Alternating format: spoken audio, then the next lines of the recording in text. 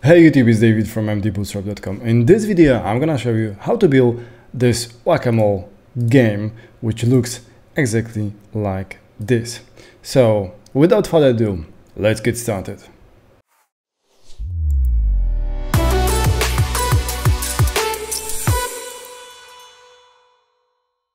Okay, so I prepared for you two images which you can uh, use in our game. So when the mole is hidden and when the mole is uh, shown to us. Mm, now, uh, before we start, uh, I just wanted to tell you that we're gonna reuse what we've already built in a previous tutorial uh, uh, where we build a tic-tac-toe game. Uh, so I'm gonna quickly reuse the same board game. Uh, so I will just, uh, I'm gonna write it from scratch, don't worry, but I'm not gonna go that much into details on how to build it. So if you want to learn how to do it, I strongly encourage you to check this tutorial. You're gonna find the link to this tutorial in the description down below. So um, without further ado, let's start building our page. So I'm gonna start with creating files. So we have index HTML. Uh, let's start with the basic setup. Uh, link, oops, link, uh, style CSS. Let's link uh, also uh, script.js and now let's create those two files. So style CSS and scripts JS and now let's uh, start working with the HTML as I said I'm about to reuse what we've got there so we'll have a container in the middle. Now I want to have h2 score with some span in it. Actually span will have id of score uh, and we'll update it with JavaScript and the same for time which will show how much time uh, we have left in our game. This is time. Okay, so that's it. Now let's have board and we want to have box multiplied by 10 nine times so we have boxes and now let's do multi-cursor here so I'm pressing alt and I'm just doing id equals to 0 and let me quickly update this one so we have two, three, four, five, six, seven, eight. So we have numbers. We have nine boxes, uh, like you've seen it here. One, two, three, four, five, six. Actually, I can show you already this. One, two, three, four, five, six, seven, nine. But there are zero indexed, so we are starting with uh, zero. And uh, at the bottom of our board, let's have um, h2 id intro um, let's play. So this will start our game and then we will have button to um, restart our game. And let's say restart. Let's see how it looks like. Open this in the live studio Okay, so now it doesn't look sexy yet, so let's work on the styles. And what we have here, we um, let's specify a variable. We're gonna use it for a color. So if you want to, if you want to use some different color, uh, you can do it. Let's pick some number. Let's say something bluish. Uh, 5e should do. Okay so this is CSS variable. If you don't know what it is, um, I strongly encourage you to check our CSS in one video, which will explain mm, this to you. Now for the body, let's reset everything. So margin zero, uh, padding also, we're gonna reset to zero, color. So by default, we want to use um, our color variable. And then we'll, let's set some font family um, how about sans serif? Okay. And now also um, for each and every amount we want to set box sizing uh, for the border box. This will include into entire size of the cell. Uh, so if we say the cell is 300 pixel um, usually when we don't don't have this border box set uh, it will basically have the width of 300 plus the border. The border is one pixel here, so this uh, entire uh, width would be 302. And we want this to, whenever we calculate, whenever we say width 300, we want to uh, we want to render 300 pixel width including border so that's what it does um, okay now for the container container we will have some padding 40 pixels then let's set some height. And we will use display flex. Align items center. As I said we've been discussing all this in a previous tutorial so if you don't what is it uh, doing mm, then please check the previous tutorial uh, where you're gonna find uh, the detailed explanation on that uh, in this tutorial I want to focus on a game itself so I'm just going quickly through that. Uh, so this is for the container for the board we'll have width 400 pixels then display flex and flex wrap. Wrap. What it does as you can uh, expect it will wrap our uh, boxes um, after um, we reach the height. So since the width uh, actually not the height but width so width is 450 pixels and each box will have a width of 150 pixels. And for the height we're going to use exactly the same 150 pixels.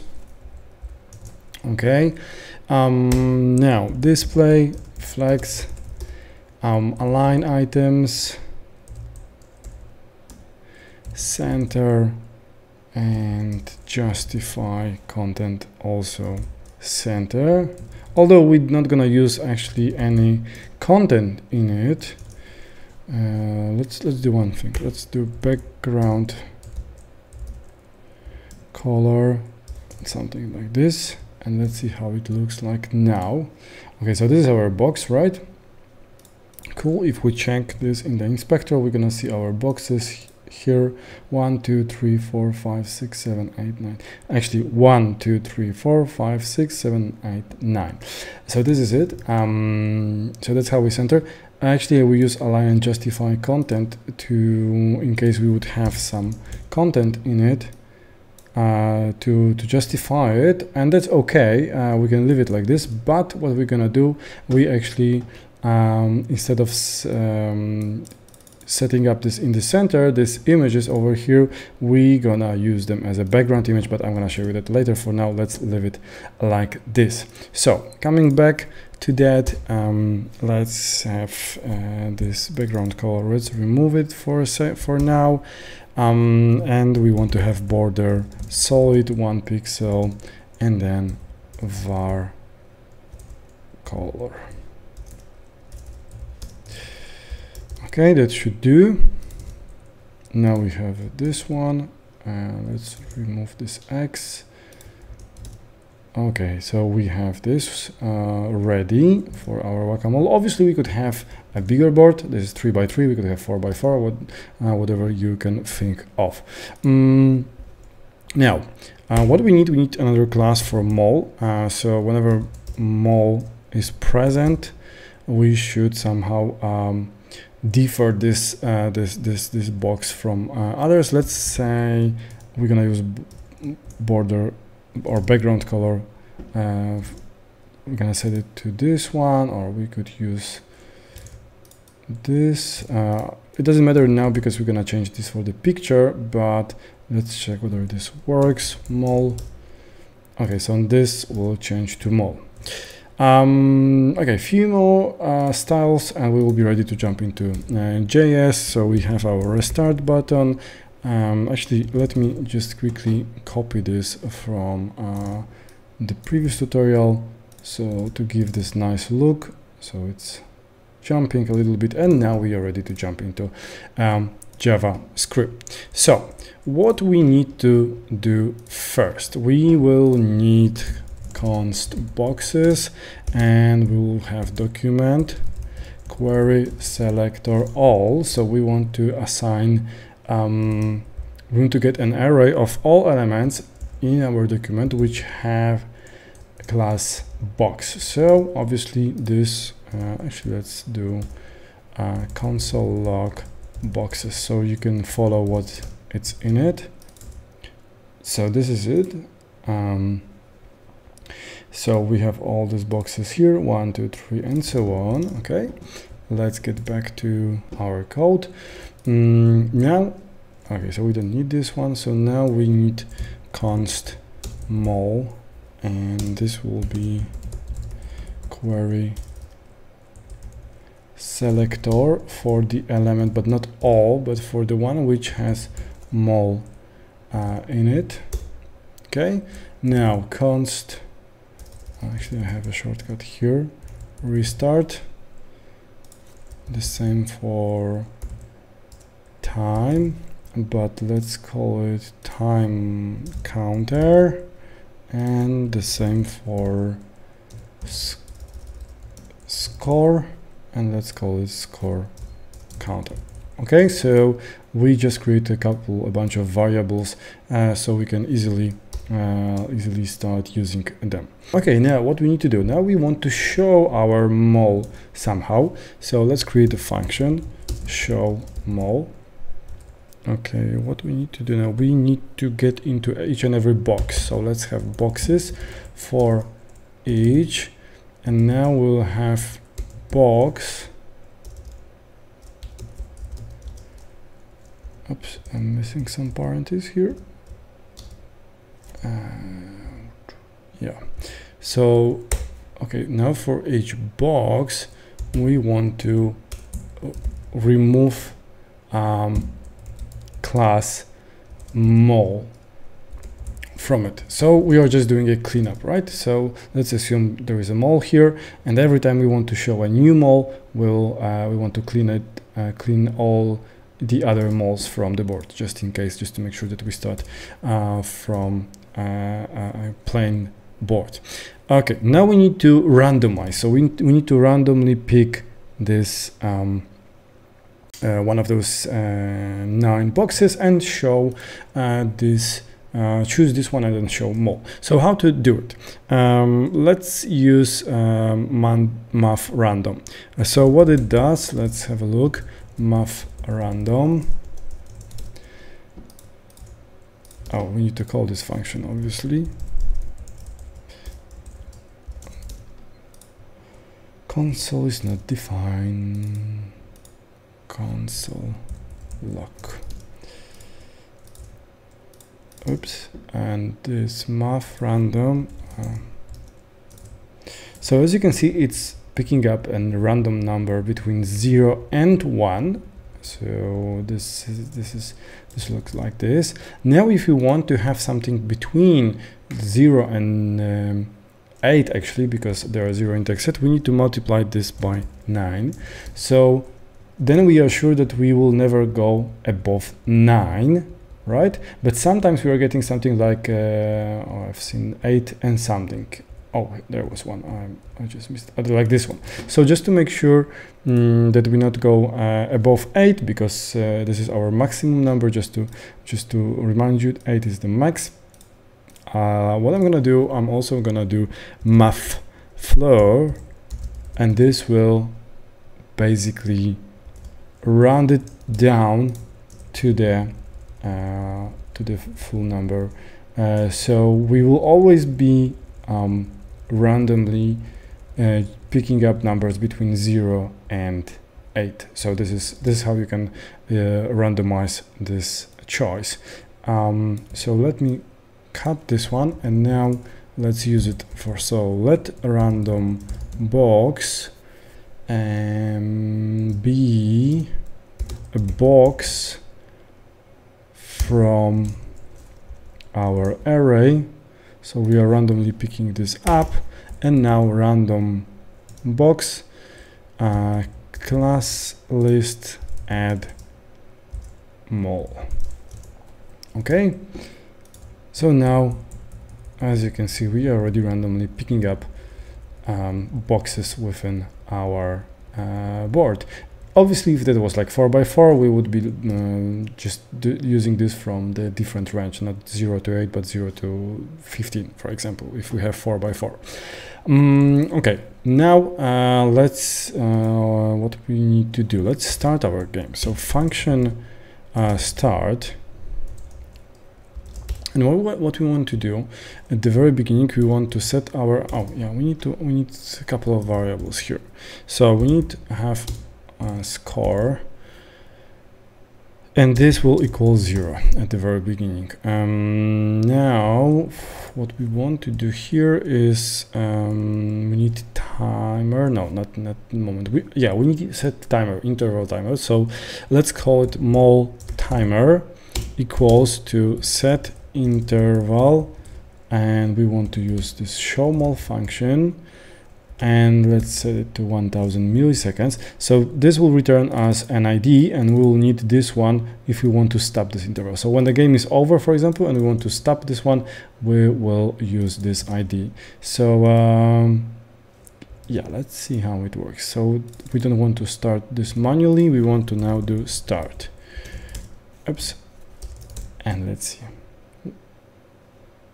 yeah. So this is working fine. So we are uh, randomly uh, choosing a box and showing a mole over there. Mm, okay. So now when we uh, have our moles, we need to start hitting them. So uh, let's uh, work on hit the mole logic. Um, so uh, we're gonna add event listeners. So boxes for each box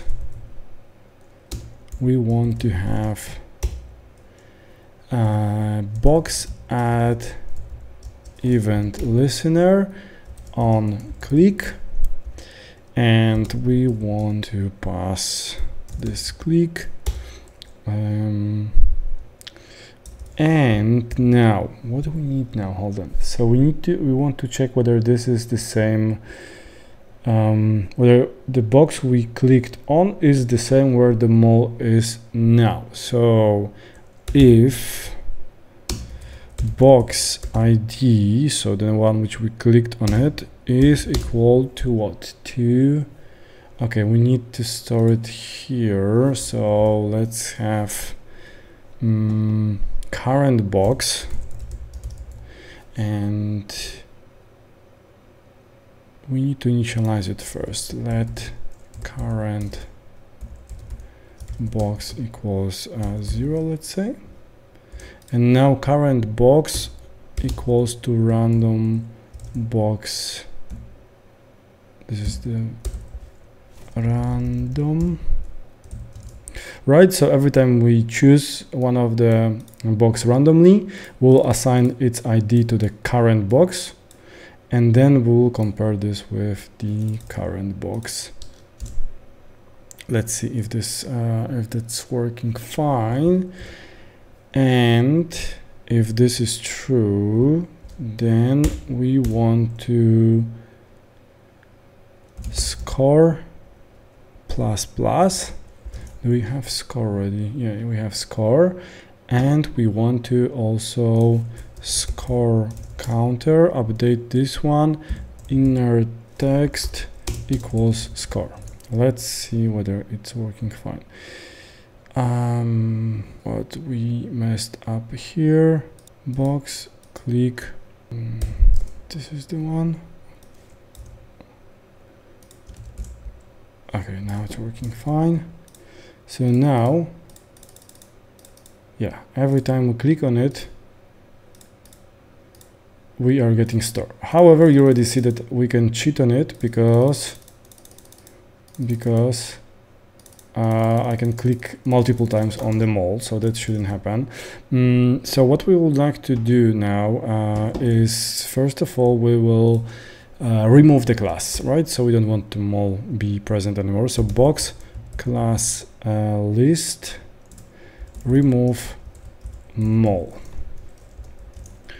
Okay, so this will remove the class however for smart guys they will realize that you can still cheat the game. So we need to um, introduce some uh, lock. So um, whenever we uh, score one point, we will set is locked to true. Obviously, we need to declare it. So is lock let is locked equals false. So we don't want our um, table to be uh, to be locked, and we want to set this one at the beginning of each iteration. So now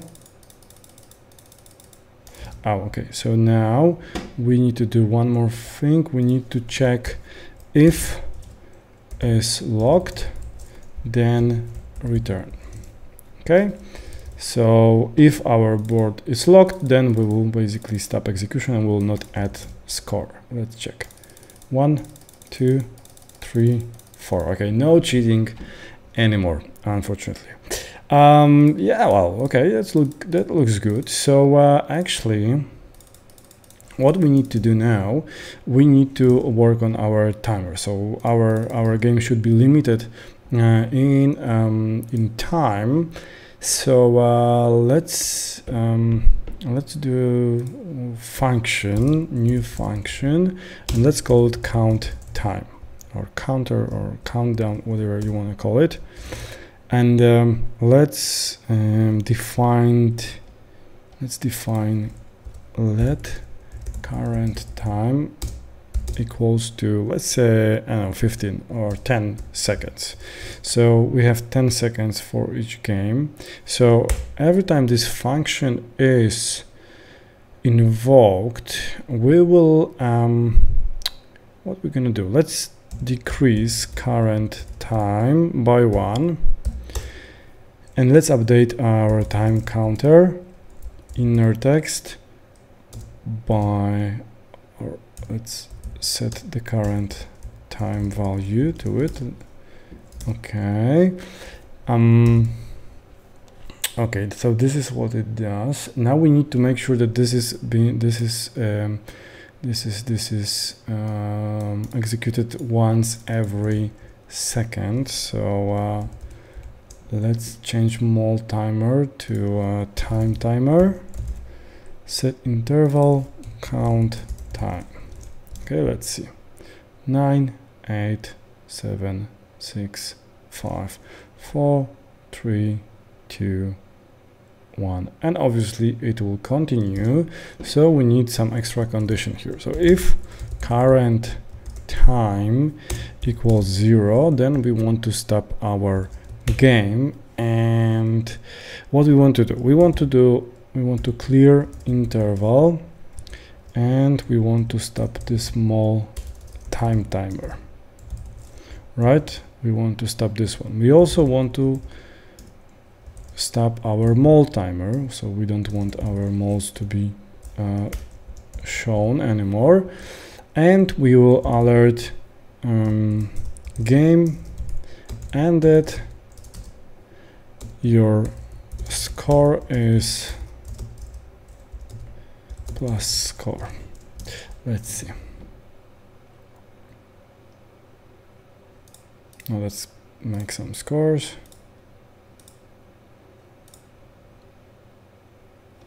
Boom. Yeah it's working fine. Uh, so the only thing which remains is to restart the game and also to change it to, to the moles. So let's start with moles first. Mm, so instead of uh, using background color, let's do something else. Let's for the each and every box, uh, let's set background image to uh, URL and we have it mole hidden and let's set actually this should be I guess in quotes and background uh, size to cover. And now let's do the same for mole but we'll just use mole not mole hidden. And let's see. Let's refresh. Yeah. So we have our mole popping up. So now the only the thing we have to do is to restart the game. So um, let's um, let's add event listener on our restart button. So restart add event listener on click and we want to run what we want to do mm, we want to restart game do you want to restart or do you want to start? Let's call start. Okay let's see if this works.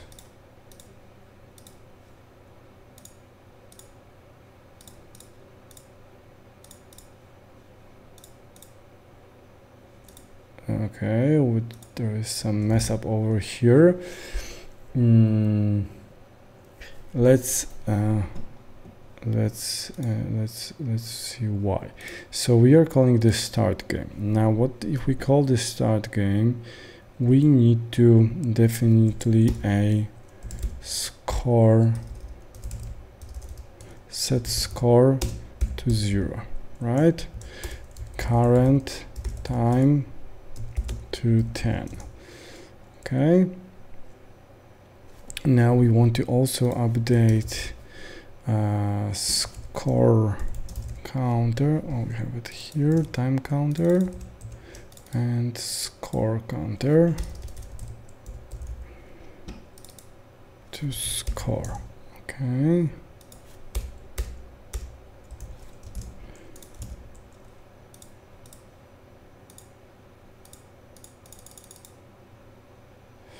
It looks like we are ah okay I see. So we are setting interval but we are not clearing interval. So we need to uh, also clear our intervals because otherwise oh timer time timer is not defined. 24 um, okay so we'll need we'll need um, we'll need a pre-step because function start started uh, for the first time. So let's do restart. And now let's function restart. Well, here we're gonna do something like this. Here oh restart restart game. Yeah obviously. Okay that's how we reset our game let's see.